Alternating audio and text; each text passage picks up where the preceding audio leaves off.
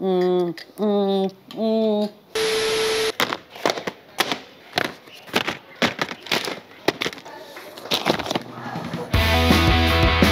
हल्दीराम के अकॉर्डिंग ये नान है मेरे अकॉर्डिंग ये तंदूरी रोटी है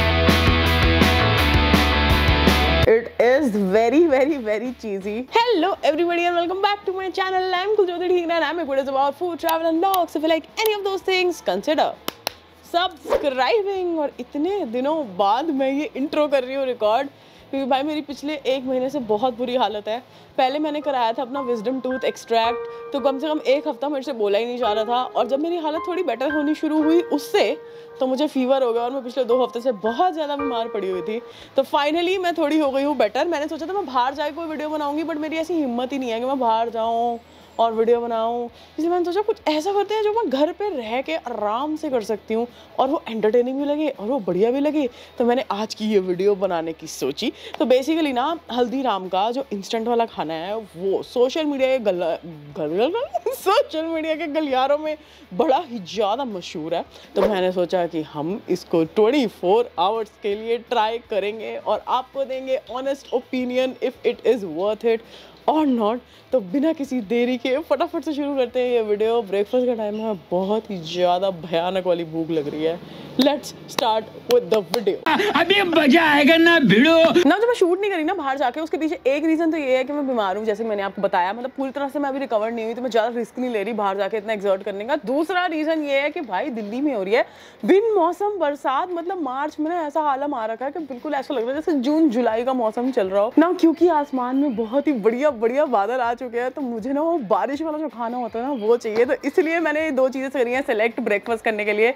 एक तो है पकौड़े, ये है अनियन भाजी या अनियन के पकौड़े। और भाई, अगर बारिश हो रही है और पकौड़े ना खाओ तो बारिश की तोहन कर रहे हो आप। इसके साथ हम लोग ट्राई करने वाले हैं ये दाल की कचौड़ी। मैं जब भी जयपुर जाती हूँ ना तो मैं वहाँ पर दाल की कचौड़ी हंड्रेड ट्राई करती हूँ। दिल्ली में मुझे बढ़िया कचौड़ी कभी नहीं मिली। तो अगर ये वो टक्कर दे सकती है ना उस टेस्ट को तो बस दिल्ली में तो आपके वारे न्यारे हो जाएँगे। तो मैं फटाफट से इन दोनों चीज़ों को बनाती हूँ। आप इसको डीप फ्राई भी कर सकते हो, इसके पीछे लिखा हुआ है और आप इसको बेक भी कर सकते हो, लेकिन मैं दोनों में से कुछ भी नहीं करूँगी क्योंकि मैं करने वाली हूँ इनको एयर फ्राई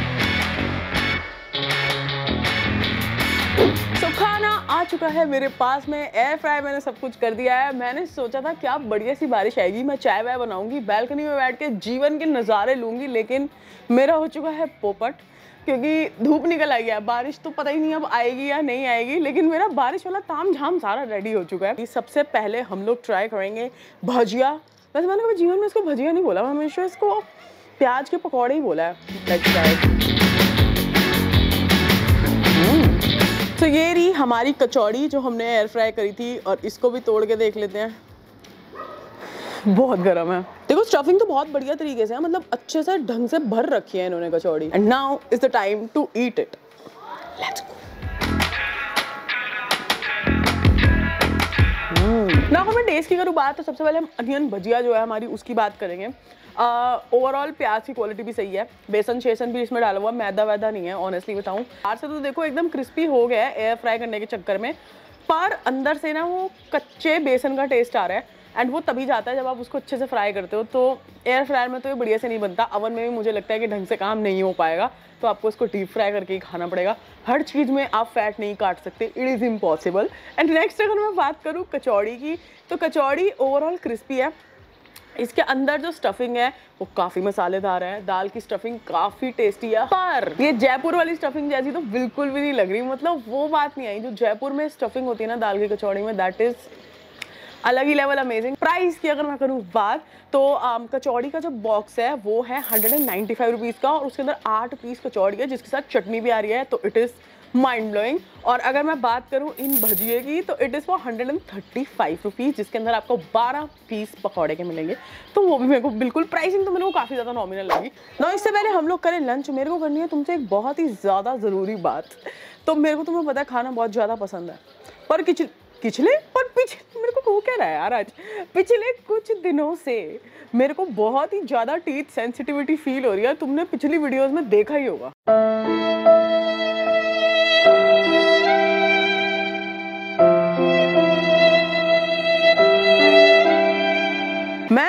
बन के वो स्टेज पे पहुँच चुकी हूँ जहाँ पे टूथपेस्ट में नमक भी मेरे पे असर नहीं कर रहा। And now I have realise that I need a dentist and मैंने अभिषेक से करी बात एंड ही सेड क्लोव है ना। इसलिए मैं चली गई थी Clove dental which is hundred percent safe dental clinic जैसे ही मैंने क्लिनिक में करा था एंटर मुझे शू कवर्स और हेड कैप दी थी in order to maintain the cleanliness सब पेशेंट्स की सेफ्टी के लिए एंट्री पे ही आपका ऑक्सीजन एंड टेम्परेचर चेक किया जाता है। इसके साथ आपसे एक फॉर्म फिल करवाया जाता है, जहाँ पे आपको अपनी हेल्थ कंडीशन डिस्क्लोज करनी होती है, ताकि आपका जो डेंटिस्ट है वो अवेयर रहे कि आपको क्या क्या हेल्थ प्रॉब्लम्स है। फिर डेंटल चेकअप के लिए मुझे लेके जाया गया था, ये हंड्रेड परसेंट स्टरलाइज ऑपरेटरी के अंदर, जहाँ थी all kind of modern equipment and technology for my dental needs and best part was कि यहाँ पर जो भी इक्विपमेंट यूज़ किया जाता है ना, वो फोर स्टेप स्टरलाइजेशन मेथड से करा जाता है स्टरलाइज ताकि जितने भी पेशेंट्स आ रहे हैं, उनको सेफली ये लोग ट्रीट कर पाए। ऑनेस्टली डेंटल चेकअप से पहले मेरी बहुत ही ज़्यादा जान निकल गई थी but the dentist was so sweet and friendly कि उन्होंने मुझे बहुत ही ज़्यादा कंफर्टेबल कर दिया था। एंड मैं फिर बहुत ही आराम से अपना डेंटल चेकअप करवा रही थी।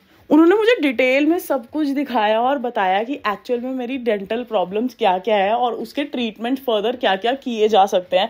They were very professional and very friendly at the same time so finally I am back home and overall my experience at Dental Glow was amazing अगर आपको भी कोई डेंटल प्रॉब्लम है एंड यू वॉन्ट कि आप किसी trusted जगह पे जाओ do try Dental Glow it's amazing and now मेरे को लग रही है बहुत ही ज़्यादा घातक वाली भूख एंड इसीलिए लंच मैं ले आई हूँ यहाँ पे दिखाती हूँ क्या लाई सो लंच में जो चीज़ हम लोग खाने वाले हैं उसका नाम है राजमा रसीला।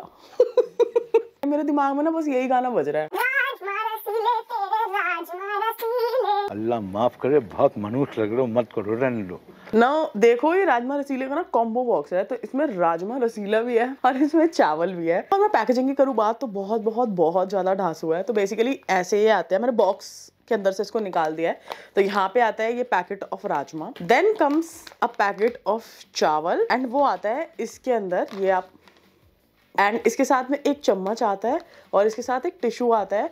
आप ये जितना भी चीज़ें हैं वो इसके अंदर करो खाली और ये माइक्रोवेवेबल ये माइक्रोवेवेबल भी है। तो आपको अलग से बर्तन गंदे करने की ज़रूरत नहीं है। तो इसको करते हैं गरम and then let's try it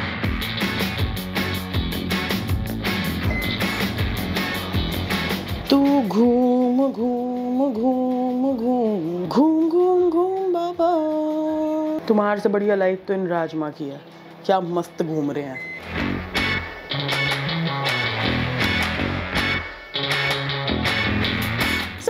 rajma chawal microwave में घूम घूम के हमारे पास में आ चुके हैं। और एक चीज़ जो मेरे को बहुत ज़्यादा सही लगी ना, वो ये है कि राजमा की क्वांटिटी एज कंपेयर टू चावल अच्छी खासी है।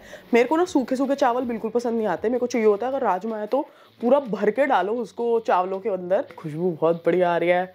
लेट्स ट्राई इट तो अच्छे खासे मोटे, ताज़े राजमा इसके अंदर डाले गए हैं। तो मेनली जो क्वालिटी है राजमा की तो बहुत बहुत बहुत अच्छी है। इनफैक्ट चावल की क्वालिटी भी बहुत अच्छी है।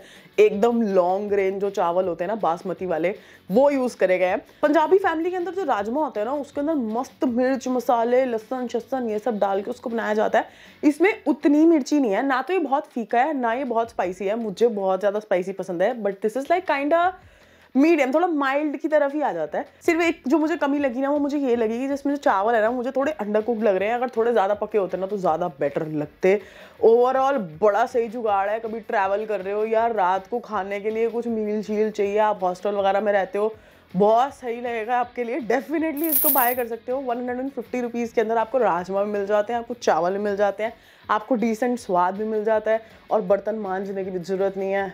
लव इट शाम भी कोई जैसे है नदी, लहर लहर करके बह रही है। इसलिए मुझे बहुत ही ज़्यादा तेज भूख भूख भूख लग रही है। एंड इसलिए मैंने हल्दीराम्स आग लगा दी, आग लगा दी, आग लगा दी, आग लगा दी, आग लगा दी, आग लगा दी, आग लगा दी। बस इतना ही गा सकती हूँ मैं, क्योंकि मेरे गले में बहुत ज़्यादा हो रही है पेन लेकिन मैंने तब भी इंडियन आइडल का पूरा कॉन्सर्ट कर दिया। हमने अब तक चैनल को सब्सक्राइब नहीं करा। क्या कर रहे हो? फटाफट से चैनल को करो सब्सक्राइब बेसिकली मैंने यहाँ पर हल्दीराम्स की नान पॉकेट मंगवाई है, ये पिज्जा फ्लेवर्ड और मैंने इससे पहले कभी भी ये मतलब कहीं भी बिकते हुए नहीं देखी। ऑनलाइन मुझे जैसी देखी, मैंने फटाक से इसको कर दिया ऑर्डर बहुत सारे अलग अलग वेरियंट्स में आती है, पनीर भुर्जी, शामी कबाब, पनीर टिक्का मसाला, चना मसाला बट यहाँ पर मैंने मंगवाया है। पिज़्ज़ा वाला क्योंकि काफ़ी ज़्यादा इंटरेस्टिंग लग रहा था। माइक्रोवेव में इसको पका सकते हैं तो फटाफट से चलते हैं, इसको बनाते हैं and then we are gonna try let's go so finally our naan pockets is reheated और अब मैं इसको पूरा खोल देती हूँ।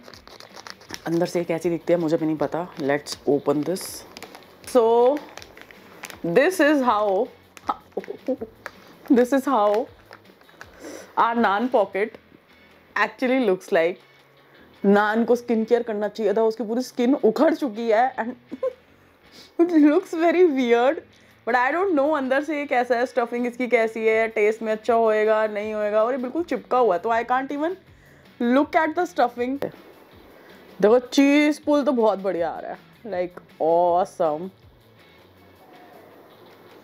it is very very very cheesy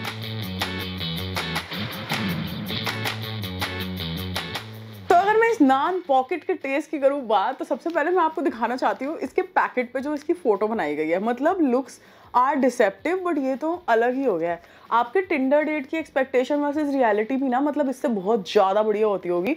इतने बड़े बड़े ऑलिव्स दिखा रखे हैं पैकेट के ऊपर। इतनी सारी बड़ी बड़ी पपरिका दिखाई हुई है कैप्सिकम दिखाई हुई है अलग अलग कलर की, और इसमें ऐसा कुछ है ही नहीं।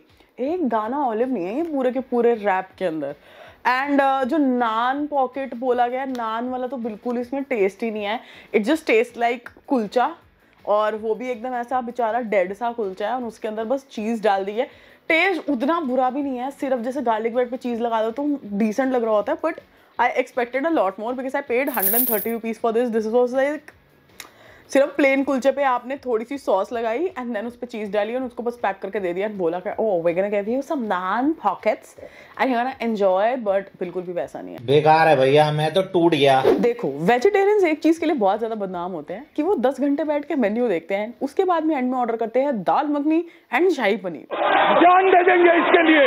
एंड मैंने आज वही मंगवा लिया है because these are the most famous vegetarian dishes अगर आप नॉन वेजिटेरियन हो और वेजिटेरियंस पे हंस रहे हो तो तुम भी को बहुत बढ़िया नहीं हो। तुम भी एंड में बटर चिकन और तंदूरी चिकन ही ऑर्डर करते हो तो ज़्यादा चौड़े हो, ठीक है? और इसके साथ खाने के लिए मैंने मंगवाया है होल व्हीट नान वैसे बहुत सारे ऑप्शन है भाई, हल्दीराम के अंदर मेरा दिमाग ऐसे ना कंफ्यूज हो गया था जब मैं ऑर्डर करी थी।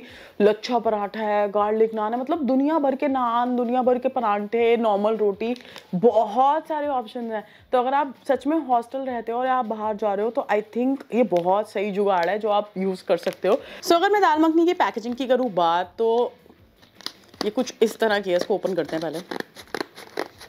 अगेन बाहर एक हार्ड कार्डबोर्ड बॉक्स है जिसके ऊपर बहुत ज़्यादा टेम्पटिंग दाल मखनी है। एंड उसके अंदर है ये सिल्वर पैकेट में लॉक्ड दाल मखनी। देखो स्मेल तो बहुत बढ़िया आ रही है जैसे बिल्कुल पंजाबी स्टाइल दाल मखनी होती है ना, बिल्कुल वैसी। देन आता है ये शाही पनीर का पैकेट जिसके ऊपर ऐसे बड़े बड़े पनीर बने हुए हैं। अब देखना ये है कि क्या एक्चुअल में पैकेट के अंदर इतने बड़े पनीर निकलते हैं, या हमारे साथ होता है धोखा। Let's find out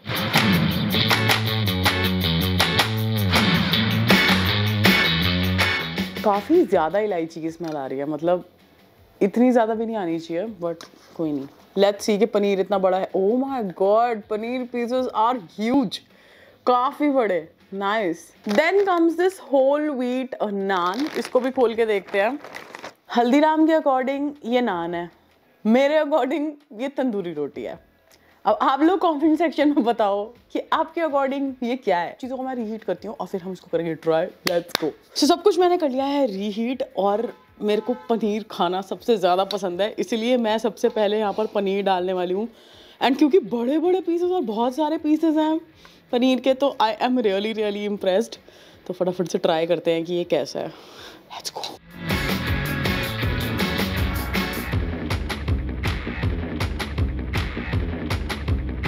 Now let's try the dal makhni. really excited about this one.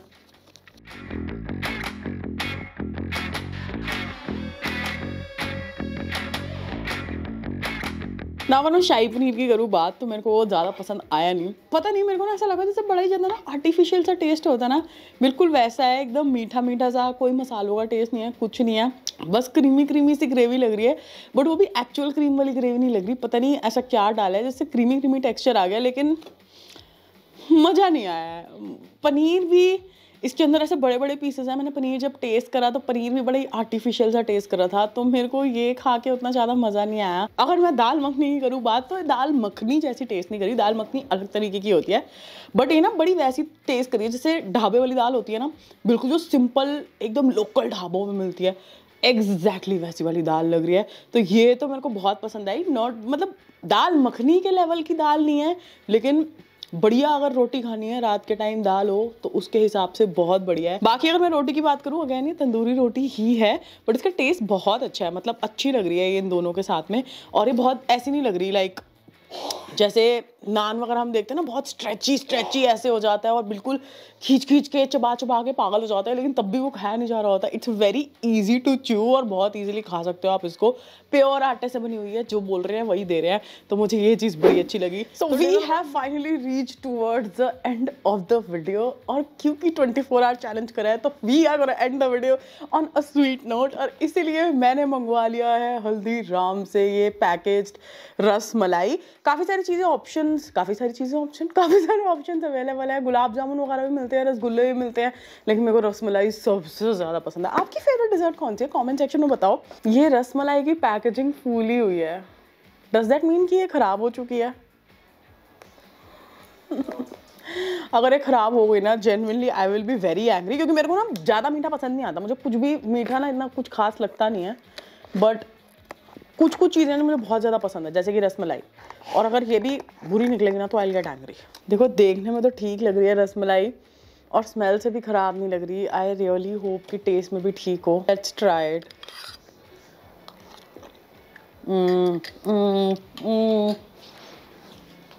it is completely spoiled it is disastrous मतलब ऐसा लग रहा है, मैंने दही से भी ज़्यादा कुछ खट्टा खा लिया इट इज़ सो बैड और मैंने ये दो दिन पहले ऑर्डर किया था and I can't even return it मैंने ये नोटिस ही नहीं किया कि ये जो पैकेट है इट इज़ पफ्ड और ये कम्प्लीटली ख़राब है। So that was it for the video today overall पूरा दिन मेरा ठीक गया। मतलब कुछ कुछ चीज़ें अच्छी थी कुछ कुछ चीज़ें बेकार थी, लेकिन जो एंड हुआ है ना मतलब उसने तो मेरा पूरा मूड खराब करके रख दिया है। बट आपको ये वीडियो कैसा लगा? क्या आपको एंटरटेनिंग लगा या नहीं लगा? मुझे कमेंट सेक्शन के अंदर ज़रूर बताना। क्या आपके साथ कभी ऐसा इंसिडेंट हुआ है कि आप किसी चीज़ को खाने के लिए बहुत ही ज़्यादा बेताब बैठे हो एंड देन आपका भी वही हाल हुआ जब मेरा हाल हुआ है। कमेंट सेक्शन में अपनी स्टोरी भी ज़रूर बताना मुझे। This is Kul Chaudhary Dhingra signing off to come with more videos in future तब तक के लिए bye bye good night I think I need to order another rasmalai bye